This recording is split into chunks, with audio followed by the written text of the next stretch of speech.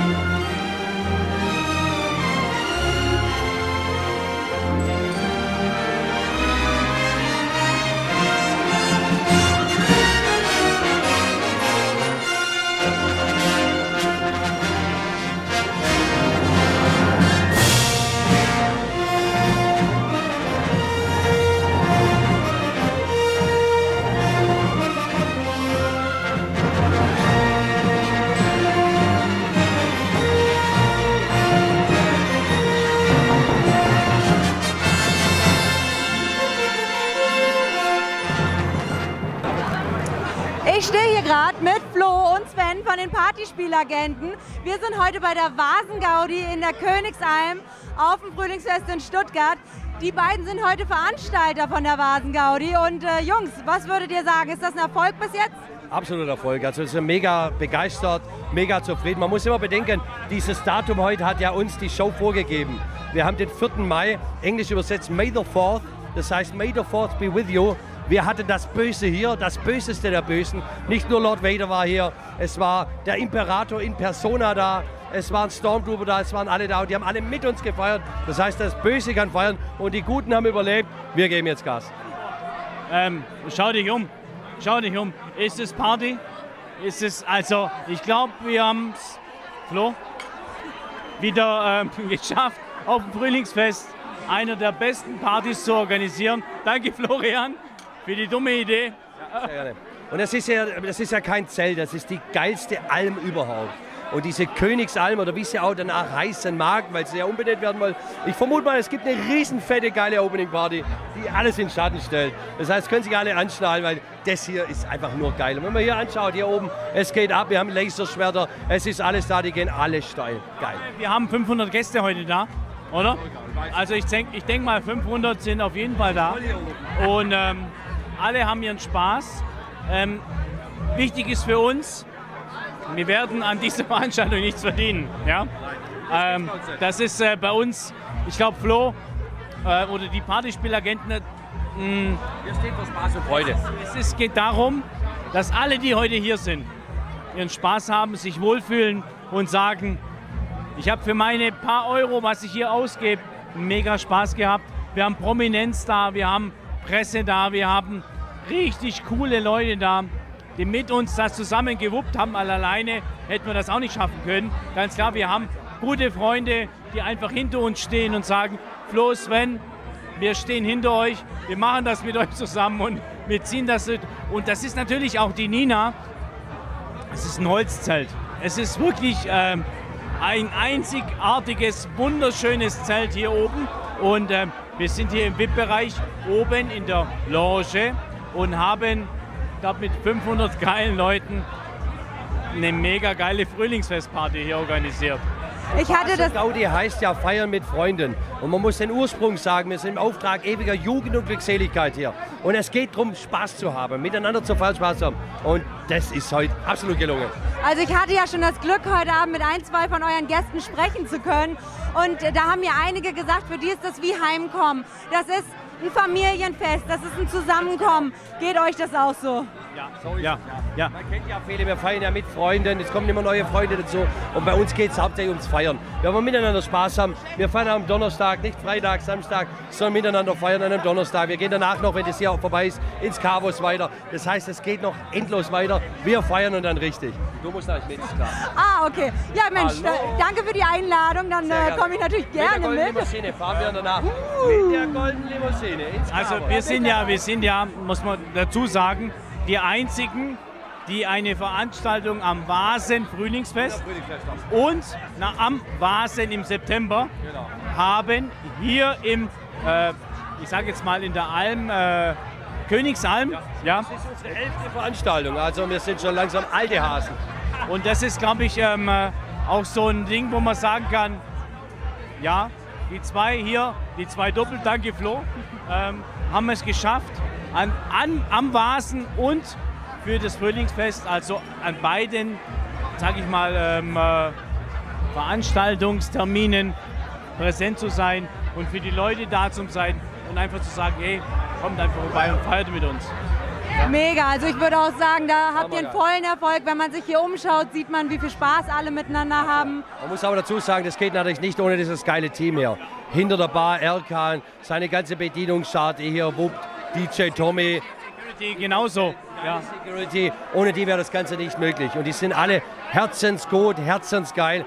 Das ist eine Familie. Da hast du recht. Und die sind auch alle mega gut drauf. Also egal, wem man Hallo sagt, egal, wem man anschaut, jeder ist am Schreien, jeder hat Spaß und genießt das aus ganzer Seele. Ne? Und ich muss auch ein ganz großes Dankeschön an euch sagen, an Vasen TV, dass ihr uns begleitet und versucht, dass alles, was wir hier machen, wir haben uns echt den Arsch aufgerissen. Florian hat wochenlang gearbeitet, Werbung gemacht für dieses Event und ähm, der Barchef, er kann, er kann erzählen, du kannst, du brauchst nicht im Hintergrund stehen. Der mag das nicht, der mag das nicht. Man muss dazu sagen, es ist Schweine viel Arbeit.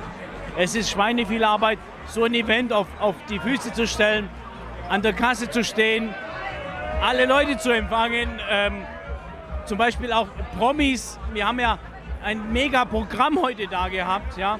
Das ist alles mit sehr, sehr viel Arbeit.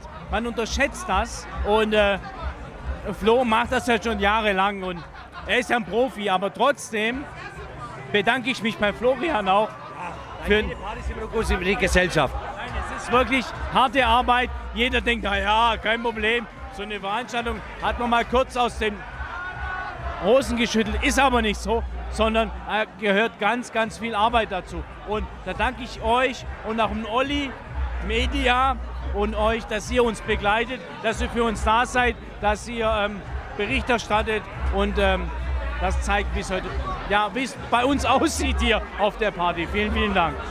Ja, da können wir natürlich auch nur Danke sagen. Ich spreche jetzt, glaube ich, auch für den Olli, der hinter der Kamera steht, wenn ich sage, vielen, vielen Dank für das Lob, für die Einladung. Wir sind super gerne mit dabei. Es macht ultra viel Spaß. Und ähm, jetzt feiern wir ordentlich, würde ich sagen. Und jetzt gehen wir ins. Star Wars, jetzt gibst du das Mikrofon. Hi, ich stehe hier gerade mit Julia Siegel. Was machst du heute Abend hier? Ähm, ich bin auf dem Vasen. Eins meiner Lieblingsvolksfest, muss ich sagen, ich bin der Münchner Kindle eigentlich, was Oktoberfest lieben sollte. Ich mag das Oktoberfest, aber ich bin seit fünf Jahren wirklich lieber auf dem Vasen. Es sind weniger Touristen, die Leute sind jünger, die Musik ist geiler, die Stimmung ist besser, die Besoffenen sind nicht so primitiv. Also ich bin ein riesengroßer Vasen-Fan. Mega, das höre ich natürlich total gerne als absoluter Stuttgart-Fan, weil oftmals ist es ja doch so, dass die Leute sagen, oh ja, und dann aber ne, Oktoberfest etc. Also Stuttgart-Fan bin ich nicht, ich bin FC Bayern. Ansonsten lieber Vasen als Wiesen. Naja, immerhin, wir begnügen uns erstmal damit. ja Mensch, und äh, mit wem bist du heute Abend hier? Äh, ich bin ja eigentlich immer meinem Lebensgefährten, mit dem Ludwig. Und ohne den würde ich hier nicht hergehen. Das wäre mir dann zu wahnsinnig und dann muss ich manchmal übersetzen. Okay, alles klar. Und ihr seid auch mit dem Nico da. Ihr seid eng befreundet, oder? Boah, ich kenne den Nico seit 2009. Nico und ich waren zusammen im Dschungel und haben da viele geile Abende und Nächte erlebt im Dschungel zusammen. Seitdem sind wir befreundet, ja. Ja, mega cool. Auch dass dein Lebensgefährte sich dann so gut mit ihm versteht. Kennen die sich auch schon so lange oder haben die sich dann über dich kennengelernt? Also alle Prominenten, die ich kenne, kennen mein Lebensgefährte jetzt seit fast sieben Jahren. Und das sind viele. Das ähm, glaube ich dir gerne. Cool. Ja, Mensch, und ähm, wo geht's nachher noch hin? Äh, nachher gucken wir vielleicht in Stuttgart noch in irgendeine After-Party-Location, schauen wir mal. Oder wir fahren nach Hause, ich weiß es noch nicht. Ich mache das immer gerne spontan. Okay, und dann bleibt ihr aber noch ein paar Tage hier in Stuttgart, oder? Naja, Ludwig wohnt in Göppingen, also kann passieren, aber auch nicht, weil er hat zwei Golfturniere. Und ich habe jetzt noch keine Lust, Golf zu spielen und ähm, ich weiß es nicht, ich mache das alles spontan. Das klingt auf jeden Fall sehr gut. Ja, cool, dass du kurz Zeit für uns hattest. Vielen Dank. Dann noch ganz viel Spaß heute Abend und ähm, lass es krachen. Hi, ich stehe hier jetzt gerade mit der Eileen Sager, die bis vor kurzem noch bei DSDS mit dabei gewesen ist. Ja, von DSDS zu uns hier heute. Wie geht's dir damit? Ja, mir geht's mega. Ähm, der SDS ist vorbei, aber meine Karriere geht jetzt erst los und dass ich hier bin, freut mich total. Ich bin mega stolz auch hier zu sein. Ich habe mega Laune, die Leute sind in Stimmung und äh, ja, es macht richtig Spaß hier echt. Cool. Bei DSDS warst du ja Fünfte geworden, wenn ich das, glaube ich, richtig mitgekriegt hatte. Nee, ich bin Siebte geworden. Ich bin Siebte geworden, ins Halbfinale Siebte geworden. Aber es ist schon wirklich weit von 30.000 Bewerber, Top 7 ist schon Wahnsinn. Ich wollte gerade sagen, du warst unter den Top 10, also das muss man auch erstmal schaffen. Und heute standest du jetzt hier auf der Bühne bis eben.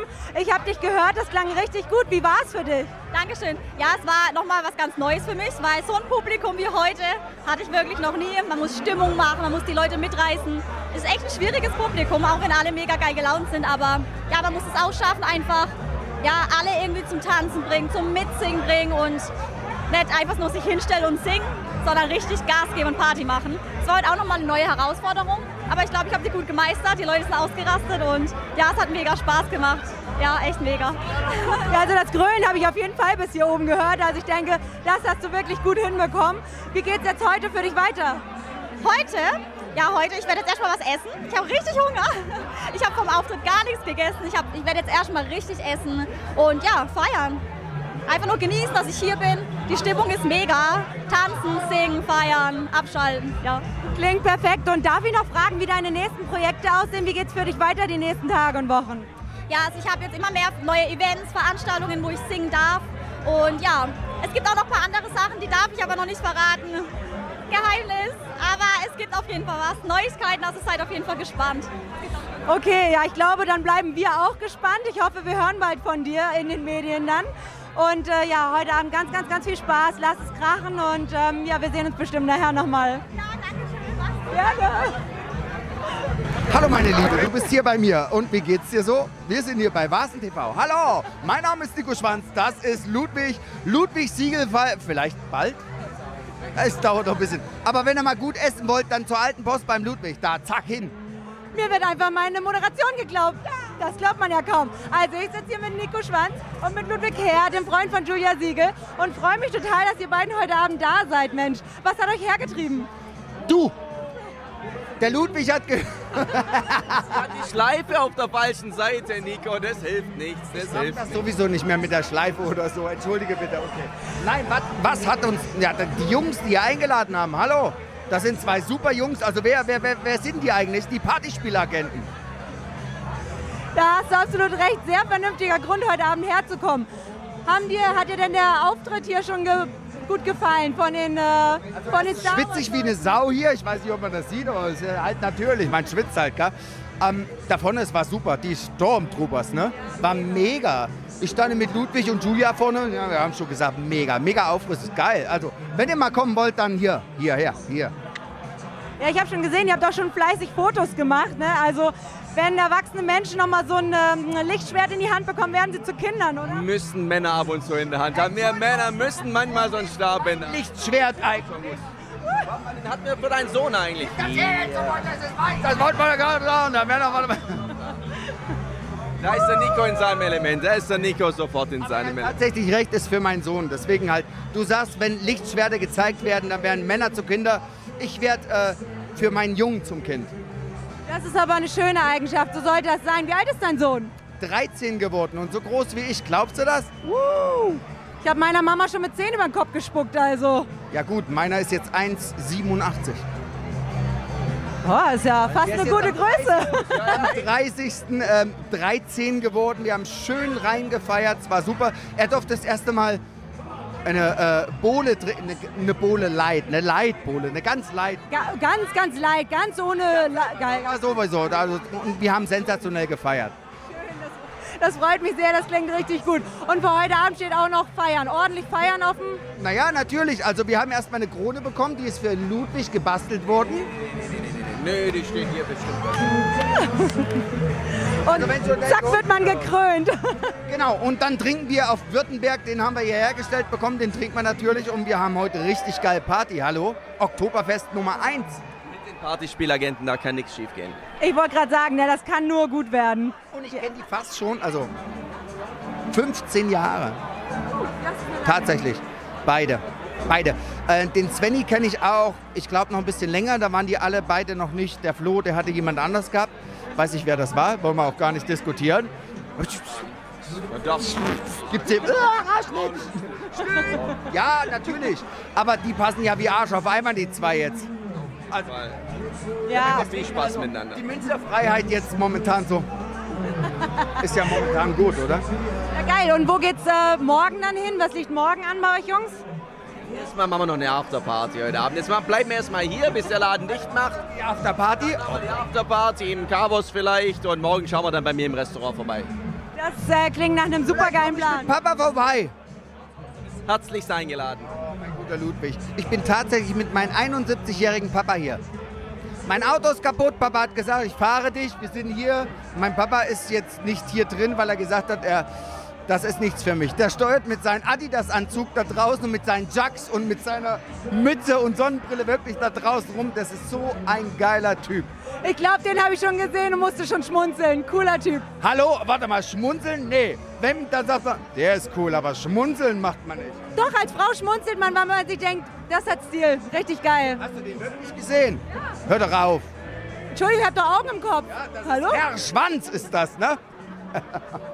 Der alte Schwanz. Das wusste ich zu dem Zeitpunkt noch nicht, aber dann kenne ich jetzt den jungen und den alten Schwanz. Warte mal, den ganz Jungen kennst du noch nicht, ne? Der ist Magdeburg gerade. Ich hoffe, ich lerne mal alle drei.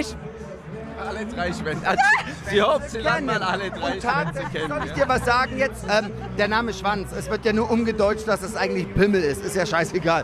Piep. Okay, schneid mal raus. Aber Tatsache, der Name Schwanz kommt aus dem Mittelalter. Und dafür bin ich stolz. Wusste ich selber nicht. Ich habe aber gesagt, ist mir egal. Mein Name ist mein Name, so heiße ich nur und fertig aus. Du, letztendlich ähm, ist die Gesellschaft schuld, dass sie da mal Ich drüber wollte ja schmunzelt. Ludwig heiraten, dann war ja Herr Schwanz. Wäre ja gut gewesen. Das ist mir gerade eingefallen. Was denn? Das wird nichts mehr mit uns zwei. Das wird nichts mehr mit uns zwei. Sorry, da muss ich leider passen. Aber ich mag den Typ. Du hast aber auch eine tolle Frau an deiner Seite. Nicht so! Als Freund. Da haben wir doch. Meine Jungs, traust du dich hier ernsthaft? Scusi! Hast du gefragt, ob du zu meinen Jungs darfst? Du musst immer die Frau fragen. Aber Du warst leider gerade nicht da. viel Spaß beim Flirten und dann bitte auch auf Schwäbisch. Ich gebe mein Bestes, aber ich bin noch Norddeutsche. Das Einzige, was ich kann. Warte, Es tut mir aber leid. Es tut mir aber leid. So, der Ludwig kannst auf, auf Bayerisch, du machst es auf äh, Ossi Ossisch. und du auf Norddeutsch. Okay, Wir sind eine tolle Truppe, würde ich sagen, oder? jetzt mache ich das auf Ossisch und sie macht das dann auf Bayerisch. Komm her. Na was denn jetzt? Wir sind eine tolle Gruppe. Also, wir sind eine tolle Gruppe. On est un groupe super incroyable ici euh, sur le Vazen, euh, ouais, à peu près de Stuttgart. Ja, ja, genau, freilich. Ja, ich habe auch alles verstanden, aber klang super. Wir sind auf jeden Fall eine tolle Truppe. Mir passt das auf jeden Fall saugut zusammen. Ja, wunderbar. Ich würde sagen, besser kann man es nicht zusammenfassen. Also vielen Dank euch und äh, habt einen geilen Abend. Gleichfalls. Und ein leises Servus aus Bayern kommt Arno dazu. Und ich soll dir was sagen, also noch, äh, mein Papa ist ja noch da draußen. Wir haben tatsächlich, wir sind damals aus der DDR abgehauen. Wir haben ja kein Live-Reality jetzt, normal im TV kann ich es halt sagen. Ne? Also, ähm, wir sind abgehauen damals, DDR-Zeiten, und haben in Altbach-Deizesau gewohnt. Deswegen ist mein Papa hier. Morgen besuchen wir Altbach-Deizesau. Mein Papa will, der muss sehen, wo wir gewohnt haben. So, jetzt ist fertig. Dann viel Spaß morgen, das wird super. Ich stehe hier jetzt mit Marc Wenger von äh, Gold Run. Du bist das erste Mal hier als Sponsor mit dabei. Wie fühlt sich das an? Ja, super, ja, der Florian Gauder und die Jungs sind ja schon äh, viele, viele Jahre Freunde von mir und wir haben gesagt, wir haben viele Synergien. Und dann hat Florian zu mir gesagt, wie sieht es denn eigentlich aus, habt ihr nicht Lust, hier was zu machen?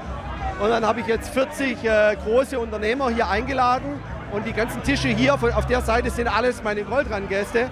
Wir haben im Prinzip die halbe Veranstaltung mit äh, versucht zu füllen und auch mit der Nina Ronaldi gesprochen und haben gesagt, wir machen hier eine Dependance von der Goldrand, sind als Sponsorpartner mit dabei und sind auch mit unseren Unternehmern vor Ort.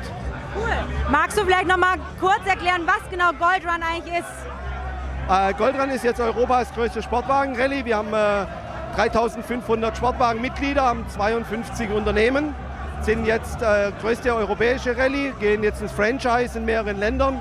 Und äh, ja, viele Gäste, die heute hier sind, sind Teilnehmer von uns und äh, wir bereisen im Prinzip ganz Europa. Kroatien, Monaco, äh, wir fahren jetzt nach Italien, sind äh, Gast bei Pagani und bei Ferrari und äh, sind jetzt eigentlich so die führende Sportwagen-Community in Deutschland und in Europa. Ja. Wow, das ist auf jeden Fall ähm, beeindruckend. Und jetzt seid ihr heute Abend extra hierfür hergekommen oder? Ähm, ja, wir bieten ja natürlich unseren Gästen und unseren Sponsoren immer wieder was Neues und sind äh, bei vielen Events. Wir haben sehr viele äh, Benefits geschickt. Wir haben in Uganda ein großes Hilfsprojekt. Wir sind bei vielen Veranstaltungen. Ich mache die Stuttgarter VIP Night auch hier im Perkins Park immer und so. Und dann haben wir gesagt, wenn der Florian was macht und äh, die Nina, dann beteiligen wir uns nicht nur als Sponsor, sondern auch aktiv mit Mitgliedern und äh, sind natürlich mit dabei. Wir haben ja auch die Julia Siegel heute hier, die macht zum Beispiel bei der Goldrand Musik. Die buchen wir als DJ und so mit ihrem Freund sind die dabei. Und also von dem her hat man sehr viel Synergien und ich kenne, sagen wir mal, 99 Prozent, die heute da sind, sind alles gute Freunde. Ja. Cool, ich meine, das ist natürlich schön, wenn man hierher kommt und dann einfach mit guten Freunden feiern kann. Ne? Also, ähm, sagen wir mal, die Stuttgarter Szene ist ja, ähm, also das, was heute hier ist, ist 80 Prozent der Stuttgarter Szene. Und wir kennen uns alle. Das ist eine große Familie. Ja, jeder kennt jeden und wir, wir, wir treffen uns hier bei solchen Veranstaltungen. Und ähm, das ist, du kommst wie nach Hause. Also es ist nicht so, ah ja, den kenne ich, den kenne ich, sondern es ist eine große Familie. Und das ist das Schöne hier. Also feiert ihr eigentlich Familienparty heute Abend? Ja, jeder, also manchmal äh, sieht man jemand Neues, weil äh, die Leute, die die mitbringen, kennt man nicht immer alle. Aber das Grow der Leute kennt man. Und man merkt auch sofort, wenn dann jemand fehlt, wo man dann sagt, Mensch, wo warst du denn gestern? Äh, ah, ich konnte nicht. Ah, du hast gefehlt. Du hast einfach gefehlt, ja. Und äh, wir haben ja beim Wilhelmer diese Basenbirsch, was wir ja auch haben. Und äh, mit Micha macht der Reinecke und äh, Micha, die arbeiten ja super, ja, unterstützt. Also wir lieben auch diese Veranstalter natürlich. Hat auch ihre Berechtigung. Aber die Nina Ronaldi ist ein ganz besonderer Mensch. Ein 6 Millionen Euro teures Zelt hier. Unvergleichlich von der Bauart. Es ist ein Traum, wie das Zelt hier gebaut ist. Und wir haben einfach gesagt, wir unterstützen die Nina hier, dass wir eine tolle Dependance in Stuttgart haben. Wir brauchen das. Das Zelt hat Qualität und wir wollen ja auch Qualität transportieren unseren Gästen. Und deswegen haben wir gesagt, machen wir das hier. Ich denke, dann seid ihr hier richtig, richtig gut aufgehoben. Dann wünsche ich euch heute Abend eine Mordsgaudi, richtig, richtig viel Spaß und für die nächste Zeit alles Gute. Ja, vielen Dank, euch auch viel Erfolg und wir freuen uns auf das tolle Video und eure tollen Beiträge und ihr unterstützt hier den Vasen, dass es vorangeht. Vielen Dank. Vielen herzlichen Dank, dann schönen Abend noch. Ich bin hier gerade mit dem DJ Ötzi Double Mike und seiner Frau. Und seiner Frau. Und ähm, ich habe mitgekriegt, du bist der Vater vom DJ Robin, der Sänger vom Song Laila. Wie stolz bist du auf deinen Sohn? Also wir sind äh, besonders stolz, weil damit hat eigentlich keiner gerechnet. Aber er hat von klein auf angefangen und er hat erreicht, was er erreichen wollte. Also wir sind wahnsinnig stolz drauf. Das ist natürlich toll. Ich meine, der Song hat ja auch eine Menge Kritik mit sich gebracht. Wie hat euer Sohn das weggesteckt? Ja, es war zeitweise schon ein bisschen kritisch, aber als es dann richtig losging, ja, überragend. Es ist einfach nur faszinierend, was da passiert. Ich meine, der Song ist ja auch eigentlich von keiner Hit-Playlist mehr wegzudenken. Vor allem, wenn es um äh, ja, Schlager, Partys, äh, Ballermann oder sonstiges geht. Also, er ist auch happy, oder? Er ist happy ohne Ende. Und der äh, Schlager, der Laila passt ja überall dazu. Ist ja nicht nur Mallorca, ist ja hier beim Vasen ein Riesending in ganz Deutschland, egal auf, welche Feste ist es, super. Ja, also, also ich kann sagen, wir sind stolz drauf und wir hoffen, dass es weiter so geht. Das glaube ich gerne. Wo ist er denn heute Abend eigentlich? Der ist gar nicht so weit weg. Der ist hier gegenüber am anderen Ende vom Vasen, im Vasenwirt und ist da als DJ. Nein, ernsthaft? Ah ja, mega. Und geht ihr nachher noch bei ihm vorbeischauen? Ja, natürlich, Pflicht. mega cool. Ja, da freut ihr euch dann bestimmt auch schon drauf, oder? Auf jeden Fall. Wir müssen auf jeden Fall dahin. okay. Ja gut, ich meine, wenn die eigenen Eltern die größten Fans sind, dann kann doch fast nichts mehr schief gehen, oder? Nein. Nein. Es gibt ja nicht nur uns als Fans, es gibt ja tausende Fans. Und wir sind aber wirklich glücklich, dass es so gekommen ist. Meine Frau und ich, wir sind happy, ohne Ende. Ja, ich meine, wenn der eigene Sohn es so weit gebracht hat und so erfolgreich ist, also da kann man schon mal wahnsinnig stolz drauf sein. Ja, ich denke doch auch. Wäre jeder andere auch. Ganz bestimmt. Ja, dann wünsche ich euch viel Spaß heute Abend, vor allem noch mit eurem Sohn. Lasst es krachen und auch hier vorher schon ganz, ganz viel Spaß. Okay, vielen Dank. Vielen Dank. Oh, ja. Ciao. Ciao. Dennis, Schick, du hier, was machst du hier? Bier trinken, offene und geschlossene Fragestellung. Ja, schönen guten Abend. Und schmeckt das Bier heute Abend? Absolut, ja. Immer wieder schön bei euch zu sein hier in der Schwabenhauptstadt. Hier Königsheim, immer wieder toll. Ja, mega. Und bleibst du noch ein bisschen länger oder nur heute Abend? Ja, ich bleibe leider nur heute Abend, morgen ich wieder zurück nach Mallorca. Ich bin mich ja gerade besser auf meine Premiere Comedy-Programm am Vorbereiten und deswegen muss ich ein bisschen diszipliniert sein. Ein bisschen diszipliniert, aber heute Abend nicht, da geht es ums Bier trinken. Heute Abend geht es, absolut, ja. Ja, dann noch viel Spaß, lass dir schmecken. Dankeschön. Also ich bin der Alexander Merz. Ich bin eigentlich der Captain Knallermann. Captain Knallermann, das klingt fast wie Captain Ballermann. Hat das vielleicht was damit zu tun? Ja, es hat damit was zu tun, weil ich bin Ballermann-Sänger. In Bulgarien und in Malle. Ach, verrückt. Und bist du dann demnächst auch mal wieder auf Malle oder in Bulgarien? Ja, jetzt gehe ich nach Bulgarien, 21.05., einen Monat lang. Ich freue mich so drauf. Das klingt nach einer riesengroßen Party. Und wo trittst du da dann direkt auf? Tritt am Ballermann 6. Das ist eine geile Bar äh, direkt am Meer. Mittags geöffnet zum Meer. Du kannst direkt an Meer gehen, ans Meer gehen. Richtig geil. Das klingt auf jeden Fall richtig, richtig gut. Ja, dann und heute Abend bist du aber nur da zum Feiern. Heute Abend bin ich hier zum Feiern, weil ich hier noch viele Freunde habe. Und es ist so geil im Vasen. Jedes Jahr komme ich gerne hierher. Und vor allen Dingen gern hier in das äh, Festzelt, richtig? Genau, hier ist am geilsten.